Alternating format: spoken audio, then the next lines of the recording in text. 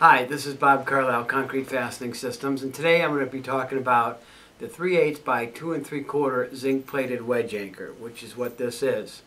The, the 3 8 refers to the diameter of the anchor. The length, which is 2 and 3 quarters, is measured from end to end. This is a zinc plated wedge anchor, so it's designed for indoor dry atmospheres. And it must be embedded into the concrete a minimum of an inch and a half. There's a length ID code stamped on the end of the anchor that allows for post-installed embedment inspection. This particular anchor will fasten items up to an inch and a quarter thick.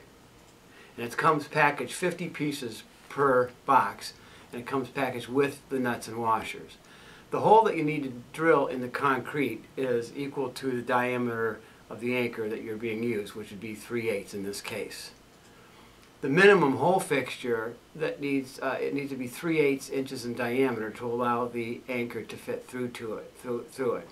And the torque value, once the anchor is put in and turned, needs to be tor this anchor needs to be torqued up to between 25 and 30 pounds. If you need to order these anchors, go to our website at www.confast.com.